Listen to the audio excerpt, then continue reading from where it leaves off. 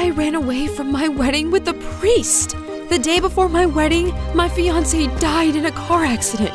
A year later, Lenny proposed to me. Kurt's gone and he won't be back.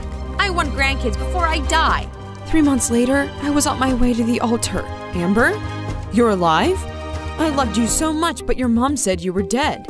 I was heartbroken, so I became a priest six months ago. I don't know what to do. We shouldn't see each other yet. You fooled me and ruined my life.